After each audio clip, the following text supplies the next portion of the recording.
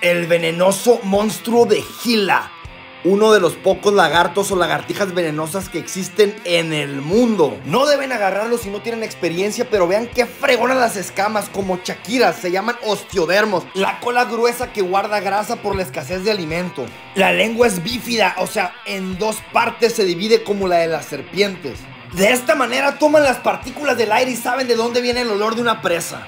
Déjenme también decirles que estas protuberancias vienen desde el cráneo del animal. A diferencia de las serpientes, ellos tienen las glándulas de veneno abajo aquí. Garras grandes y fuertes para escarbar en las duras tierras del desierto. Se alimentan de roedores, pequeñas aves, huevo, etc. Y vean qué delicioso se traga lo que le doy. Sin duda, uno de mis animales favoritos. Cabe mencionarles que la gente estúpidamente los mata o los maltrata por un temor irracional. Son animales muy tranquilos y si no se les molesta no tiene por qué haber riesgo de que te muerdan.